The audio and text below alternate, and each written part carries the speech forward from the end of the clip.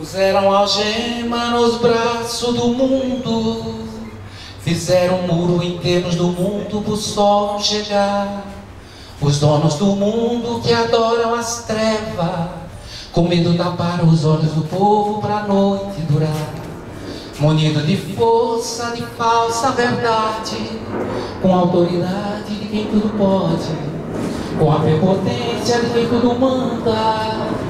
Os donos do mundo, senhores da terra, tornaram verdade as mentiras da guerra, tornaram mentira a verdade do amor. Oh, oh, oh, uma canção por só voltar, uma canção por só voltar, uma canção por só voltar. Vamos trazer aqui o autor dessa, dessa poesia, Castelo Hansen. Eu não fiz tudo, hein, gente? É bem mais longo.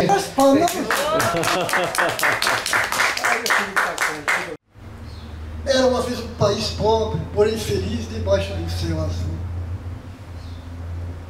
Tinha luar cor de prata, tinha matas verdejantes, tinha o Cruzeiro do Sul. Cantava, can, opa, cantava Caíme Gonzagão, cantava Catulo da Paixão, cantava Caíme Gonzagão, cantava Raul Torres e Florencio, cantava Serrinha e Caboclinho, chorava violas de medeiras, chorava, chorava as folhas de medeiras, chorava a viola de pinho. Tinha povo, tinha gente. Eita, povinho contente, contente por cada pouco que tinha, pelo sol quando vinha, pela tarde que caía.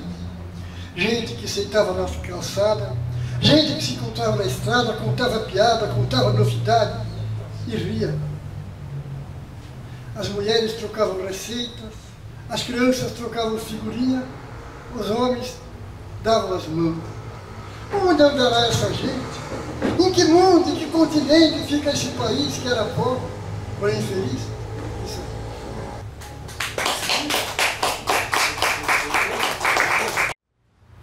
Ouvi do sul do país um caritel, avisando a natureza para se cuidar. Cascatas, matas e bichos, tomem cuidado, que uma grande desgraça acontecerá. O céu vai gemer, do céu vão chover lágrimas, trovões, relâmpagos e raios vão lastimar. Venha, Caruana, salvar-nos dessa tristeza. Ajude-nos a cuidar da mãe da. Venham tribos tupis, guaranis, chavantes e caiapós. Gangues, ganés, urumis e cutuxós. Tamanhos e demais terreiros do Brasil de antigamente. Prepare o chá de calamarina que é venenoso. Pra Caiu, que é o homem branco de cabeça doente. Convoque o negrinho sacio, sucupira, caipora, jaguaretê se quiser, pode ajudar. Ajunte-se bichos e mitos, deuses da Grécia e totens americanos, veados, tigres e se puder até lindos tucanos. E antes da desgraça acontecer, ajudem a natureza desse Brasil se defender. Perdão pelos filhos ingratos dessa terra, que se julgam homens, sendo demônios e feras, que se dizem anjos e que estão a destruir a natureza desse país de sua norte. Então, o seu Carlos Sobral vai declamar uma poesia. E eu quero aqui agradecer, já agradeci a ele assim, mas agradecer na frente de todo mundo pelo carinho do seu Carlos Sobral com o nosso trabalho, o que ele escreveu no, na página dele no Facebook. É, muito obrigado, seu Carlos Sobral. Eu acho que isso que deixa forte para dar continuidade a, a, fazer as nossas artes. Muito obrigado e declamo sua poesia. Às vezes chega a sonhar, mas nunca posso esquecer. Será um sonho impossível eu esquecer de você. Que vive no sofrimento, assim também vivo eu. Mas tenho os meus momentos de poder pensar em Deus. Deus é minha alegria, Deus é minha devoção. É Ele quem me acalma para cumprir minha missão. Minha missão aqui neste mundo é o povo ajudar. Mesmo me sacrificando, mesmo que ele tem que sonhar. E só Ele aqui na terra é quem pode nos ajudar. Deus, meu Deus, Iguati, no Mundo no Ar. Então eu vou trazer uma camarada que está aqui na primeira vez, meu amigo Ailton, colega nosso lá de Facebook.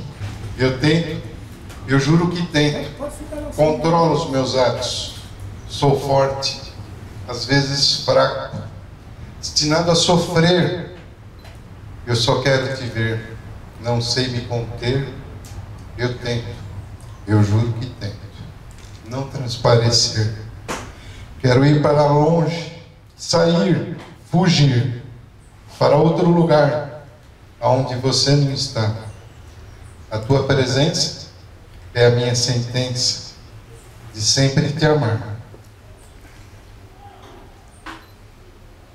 Amor, antes que eu parta, leia minha carta.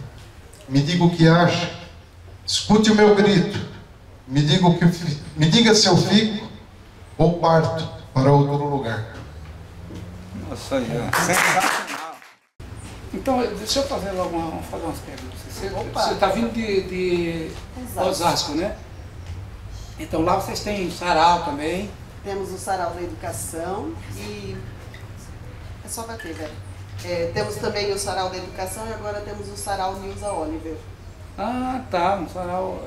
Já apresentei o segundo ontem, por isso Ah, que, que eu legal. estou sem voz, porque nós cantamos e Olha, falamos poesia até cansar. Se eu pudesse, eu buscaria um pedaço do céu azulado.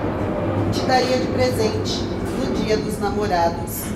Se eu pudesse, todas as flores eu buscaria minha amada e plantaria nas encostas, enfeitando a tua estrada. Se eu tivesse o poder, juntaria as estrelas do céu e te daria um universo, um mundo somente teu. Ah, se eu pudesse, traria muitas crianças a cantar hinos de paz e de alegria, para jamais te ver chorar. Mas eu sou um simples mortal e hum- humildemente eu te peço, eu quero só meu amor, em troca do teu amor, os meus simples versos. Poeta Então, mais uma vez de Osasco, Vera Lúcia. É noite, tudo é noite. O rio caminha tranquilo, levando a noite consigo. Murmura num som pesado seu agitar de águas negras. Água noturna, noite líquida. A lua mergulha, misturando seus reflexos às águas oleosas do rio, trêmula e perplexa. Pelo inevitável odor incontido. Já navegara num rio, num rio inocente, águas límpidas, onde sua imagem refletida bailava no, no, no tremular de suas ondas. Ele continua no seu murmúrio de dor, taciturno e solitário. Não traz peixes em suas águas, figueiras já não debruçam sobre seu leito, avencas e begônias não brotam de suas margens. A cidade o corrompeu. O rio, noite, geme em suas águas oleosas e pesadas. Suspiro de morte que segue na noite eterna, sombria. Mais noite dentro de suas noites, de suas águas negras.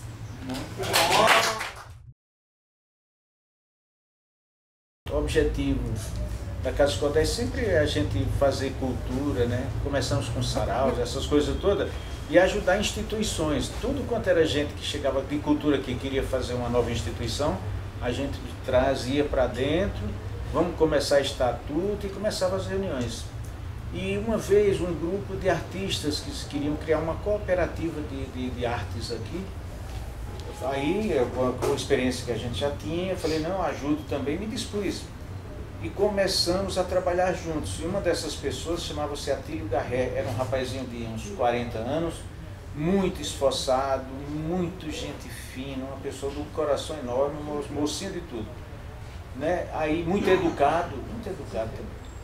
E aí começamos a trabalhar, reuniões e montando aquele estatuto que era para a cooperativa deles.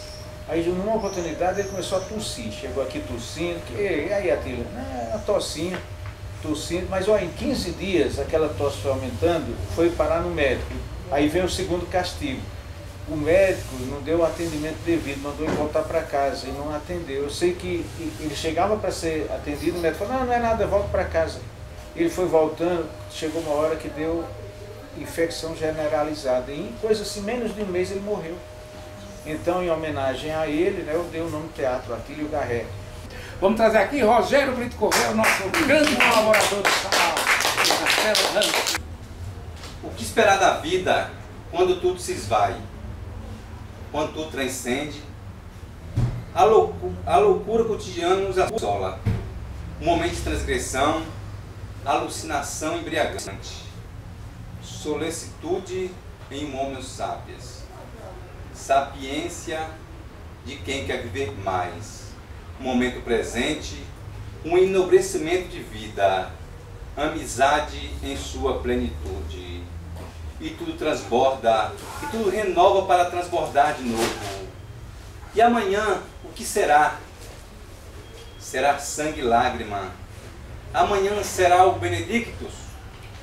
Não choraremos mais, nem lágrima de sangue, nem lágrima de crocodilo. Não anunciaremos nem anjos nem trombetas, só anunciaremos o novo amanhecer, com o sol cálido, o vento brando, com a alma leve e o rosto lânguido, com o olhar doce e uma vida quase que perene. Amigo, é o que temos de mais sagrado, mesmo quando tudo sangra, mesmo quando tudo parece anacrônico, mesmo quando a lembrança nos falhar, a amizade ficará num cantinho restrito do cérebro. Embevecido nos encontraremos e lembraremos instantaneamente da nossa embriaguez, naquela mesa com aquele amigo. A noite era simplesmente um teatro, onde não éramos coadjuvantes, o papel principal era nosso. A noite é como uma ave de rapina, aproveitaremos o momento ideal, brindaremos a vida vindoura, brindaremos a liberdade. E ainda há tempo para mais um gole?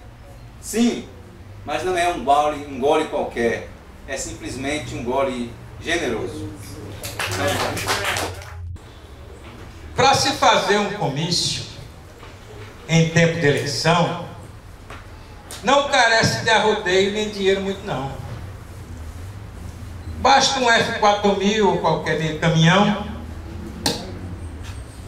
entalado em bico estreito, e um, um bandeirado mal feito cruzando 10 posição. Um locutor tabacudo, tabacudo converseiro comprido, uns alto-falantes rouco que espalham o alarido, microfone com flanela, ou vermelha ou amarela, conforme a cor do partido. Umas gambiarra velha, banguela no acender, quatro faixas de bramante escrito qualquer dizer, dois pistões e um tarol. E até para ficar melhor, uma torcida para torcer.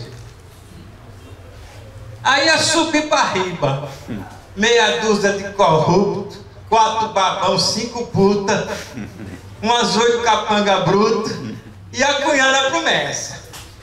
E a pisadinha é essa, três promessas por minuto. Anunciar a chegança do corrupto ganhador. Pedir o V da vitória na mão do eleitor. E mandar que os vira-lata no posto da passeata tragam o homem no andor protegendo monossílabo de dedade e beliscão, a cavalo na cacunda chega o dono da eleição. Faz boca de fechiclé e nesse querequequé, vez por outra, um foguetão. com voz de vento encanado e com o vivo dos babão, é só dizer que é mentira sua fama de ladrão. Falar do roubo dos homens prometeu o fim da fome e está ganha a eleição. Terminada a votação, terminada a campanha, faturada a votação, foda-se povo, pistão, foda-se meio caminhão, promessa, campanha, enxaco de brama e curtir a posição. Sendo um caba despachudo de politiquice quente, batedorzão de carteira vigaristão competente, é só mandar pros otários. A foto do calendário, bem família e bem decente. Ele, um diabo sério e honrado, ela, uma diaba influente, bem vestido, bem posado, até parecendo gente. Carregando a tiracolo, sem pose e sem protocolo, um diabozinho inocente. Obrigado. Muito bom. Lua, lua, lua.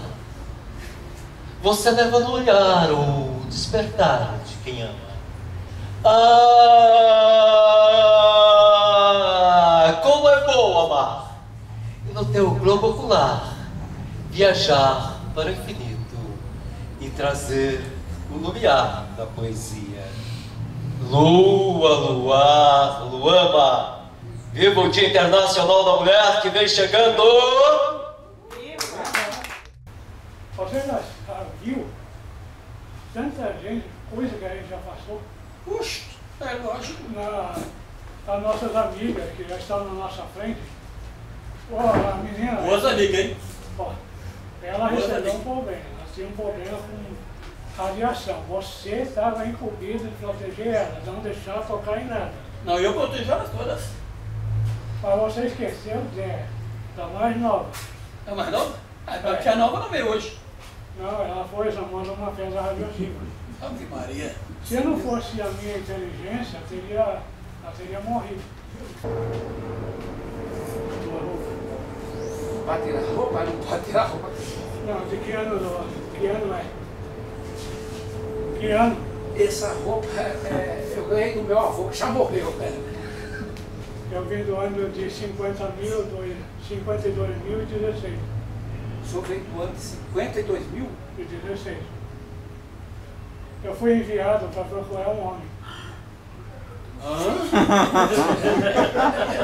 rainha, Sim. a rainha do, que vive no meu tempo está querendo um homem para poder ter filho. Ah, é pra rainha, né? O senhor me deu um susto desgraçado.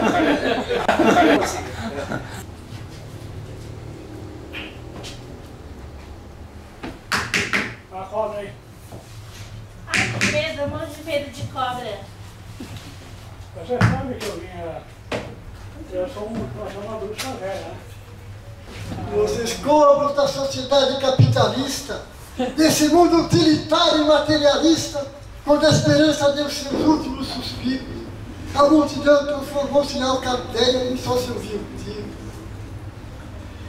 E quem prometeu o paraíso socialista, quem acenou com o mundo de igualdade, traiu seu sonho, trocou sua verdade pelo podre poder de cada dia e matou a utopia quando a ganância e a corrupção falaram mais alto, no vazio que ficou nasceu uma flor. A flor que Dumont viu nascer nas fazendas. Caminheiros que caminham pelas estradas desertas do imenso limbo sem cor, perdidos no desencanto, olhem bem naquele canto. Ali visteja uma flor. Uma flor que é quase nada e passa desapercebida porque enxerga na vida só o brilho da ambição. Aquela flor mirradinha chama-se flor da poesia. Só os poetas ouvirão. Porém, não se esqueçam nunca que um poeta só é grande se souber ser pequenino. Essa flor nasceu na vala e só se pode enxergá-la com os olhos de menino. Lá fora o mundo trepida, a morte matando a vida, a ética escoraçada. Os pobres filhos da terra vivem morrendo na guerra pela ambição do seu lar. Nesse canto, todavia, aqui na casa dos Cordéis, por exemplo, nesse canto, todavia, os que vivem a poesia deixam no coração, protegidos pela flor, repartindo seu amor, novo país formarão. País grande, sem fronteiras, sem armas e sem bandeiras, onde a bondade é a lei. País chamado Utopia, livre reino da poesia. Um reino que não tem rei. Reino